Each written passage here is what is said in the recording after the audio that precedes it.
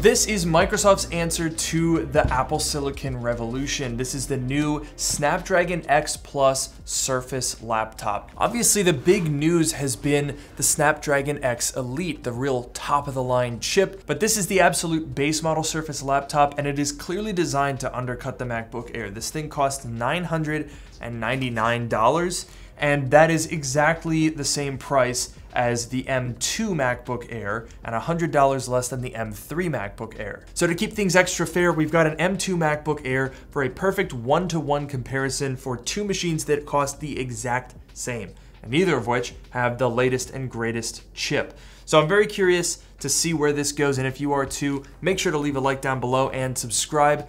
Let's get into it right after a word from today's video sponsor. Today's video is sponsored by Eufy and their new S1 Pro floor washing robot vacuum, powered by their revolutionary Always Clean mop, which as an industry first washes the mop while it's mopping. S1 Pro can cover a massive 450 square meters with just 3 liters of water. And thanks to a dual water tank, clean and dirty water are stored separately for easy drainage and maximum cleaning power. It also features EcoClean ozone technology, which generates ozone to sterilize the clean water. The vacuum features 8,000 pascals of suction, plus a detangling brush and two side brushes to make sure hair and debris are efficiently sucked into the cleaning bag. And S1 Pro does all of this in a form factor just 96 millimeters in height. That means it can be drilled into low-rise homes and can fit easily underneath furniture. With advanced features like active binocular infrared imaging technology and LiDAR to build a 3D map of your space and power obstacle avoidance, a simple app or built-in LCD control, and more,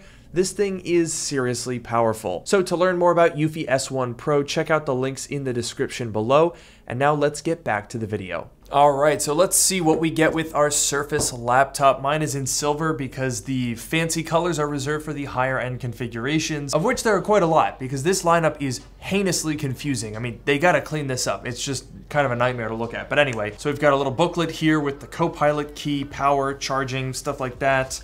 We have a charger. Is that it? Fair enough, don't need much. Let's go ahead and check out the laptop. Well, it looks it looks very MacBook airy, I will tell you that. Aluminum unibody construction. We've got a really simple, very clean bottom plate with no visible screws. I assume those are under the feet. The I.O. selection, very similar to Apple's. We've got a proprietary charge point, just like Apple has MagSafe. There's a headphone jack, two USB-C ports, but the Surface laptop adds in a regular USB Type A port, and I'm sure people are definitely going to appreciate to that. set up your device using a screen reader. That's familiar too. And we've even got the rounded bezels that Apple has on the latest generation MacBook Air. So this is a very comparable experience. Now you could say that they maybe copied Apple's homework a little bit here, but you could also say that they're adopting a lot of the really nice design cues that a lot of modern laptops use. But if there's one design cue that Microsoft definitely didn't copy, it's the setup process. The first thing that the Surface laptop did when connect to Wi-Fi is update for about 40 minutes.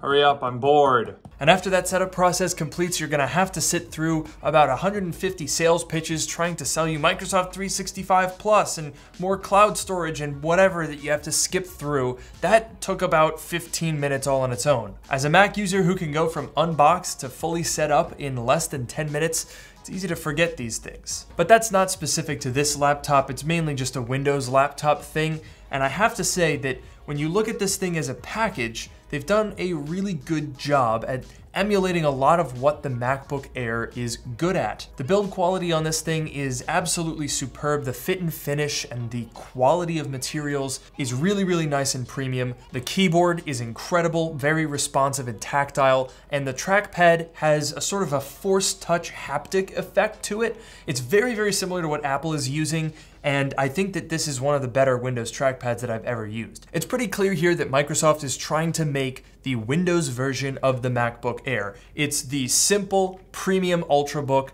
that is designed to be used by literally anybody, from students to working professionals to grandparents. In fact, the only thing that really bothers me about this design is the bezels are uneven. They're slimmer on the sides than they are on top. But bezels, of course, very, very minor. What's more important is the screen itself. And this is a really nice panel, and it adds a couple of nice bonus features that you don't get on a MacBook Air. For one, it's a touch screen. Maybe one day Apple will do that, but they're taking their sweet time. And there's Windows Hello facial recognition for logging in instead of Touch ID over on the MacBook. However, the display panel itself is quite simply not as good. In comparing the two panels, it seems like the Surface laptop has slightly deeper blacks, but the MacBook Air more than makes up for that with its incredibly lifelike and vibrant colors and its contrast ratio, which absolutely dunks all over the Surface laptop. Now granted, neither of these machines have OLED or mini LED, so you can definitely do better than both of them, but for what they are,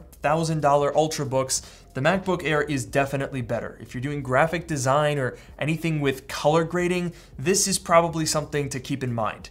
Although you do get some benefits with the Surface laptop, for example, it has a 120 hertz refresh rate. That is really nice to see on an Ultrabook because normally they don't tend to do that. Also important for an Ultrabook are the speakers, and I have to say they're very similar. Microsoft did a great job with the speakers on this thing, they sound very, very similar to the MacBook Air.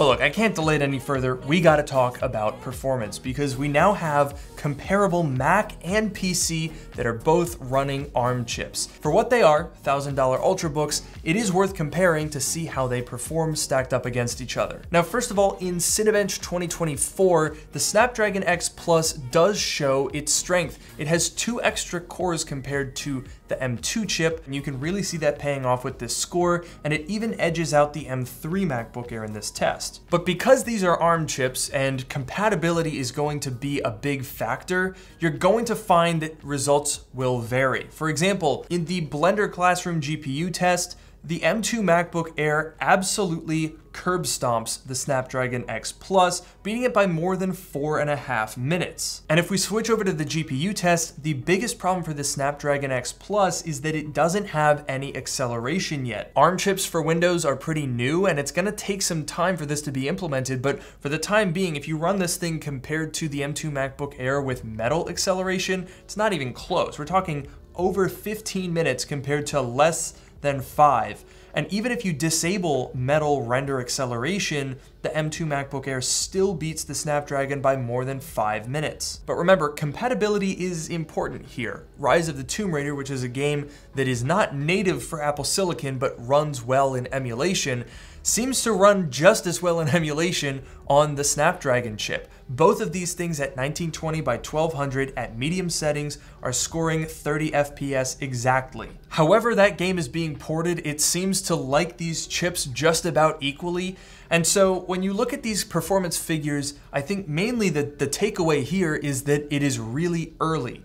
The M2 chip is a lot more mature than these new Snapdragon chips, so I expect that these performance numbers could change dramatically from one month to the next. But given that this is basically Snapdragon's M1 chip, I'm really impressed with how it's performing, especially considering that this is the lesser powerful of the chips they announced. They're setting a really strong baseline for performance here, and I'm excited to see how it improves in the coming months and years. But the one thing that they definitely need to work on from a hardware perspective is thermal management. This is not a fanless machine. The M2 MacBook Air is, in fact it has been since the M1. But while it's impressive to look at the performance of the Snapdragon X Plus, we do have to keep in mind that it has active cooling, and you are gonna hear that. It's not super duper loud, but it is audible and I did hear it for every single one of these benchmark tests. So it's not like on the 14 or 16 inch MacBook Pro where it might kick in occasionally.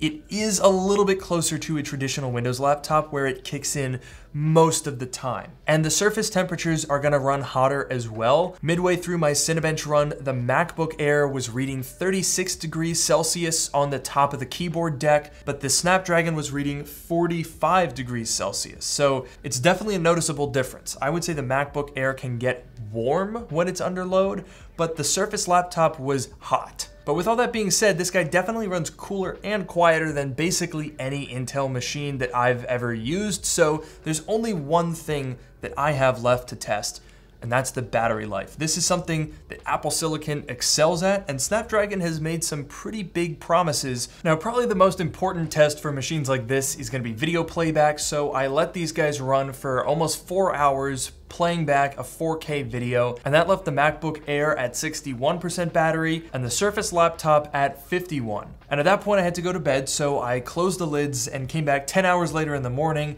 to find that the Surface laptop had drained down to 49%, and the MacBook Air down to 60. And that's actually a very important test because a lot of PC laptops drain a significant amount of battery when they're on standby. Apple Silicon machines are really, really good about that. Losing 1% overnight is pretty crazy. And the Surface laptop did good, only losing 2%. And then we did another three and a half hours of video playback, which left the MacBook Air at 36% battery, with the Surface laptop at 12. And this is where you really start to see Apple Silicon shining through. Remember earlier when I talked about the extra fan noise and heat in the performance category? Well, that is going to contribute to more power consumption. So the MacBook Air unquestionably won that hands down, but to further emphasize the point, I charged them both back up to 100 and I ran Cinebench twice. So that's only like a 20 or 25 minute test, but we're maxing out the CPU. And in doing so, the MacBook Air went from 100 down to 90%, but the Surface laptop went from 100 down to 65. And it's also worth noting that the MacBook Air has a slightly smaller battery, 52.6 watt hours compared to the Surface laptop's 54, and I've also had this MacBook Air for two years now, so it really was at the disadvantage. And that really emphasizes just how efficient Apple Silicon is. So I think this comparison illustrates a couple of really key things. The first is that man, Apple Silicon is really, really good. This is now a two generation old chip with M4 chips probably coming to the Mac in a couple of months. And the fact that it is able to be competitive even faster in some performance metrics compared to the Snapdragon chip over here that is really, really impressive. But what Qualcomm was able to accomplish with these Snapdragon X chips is also really impressive. Apple now has four generations of M chips, but this is their literal first attempt at building a laptop chip, and they're already able to beat Apple Silicon in some key performance metrics. So when it comes down to picking the winner between these two laptops, I don't think Microsoft has beaten Apple at their own game. They've definitely made a device that has a lot of similar qualities to the MacBook Air, but the battery life, the fanless architecture, and the thin and light design really, I think the MacBook Air is better. And I know that's not exactly surprising because this is a very Apple centric channel, but I think the numbers speak for themselves. Yes, the Microsoft Surface laptop is going to have slightly better performance in some ways, and it obviously has greater x86 compatibility. The fact that I can just download Steam, install normal x86 games, and fire them up straight away right out of the box is really promising for the future of ARM on Windows. And I think devices like this are going to supercharge the rate at which developers accept ARM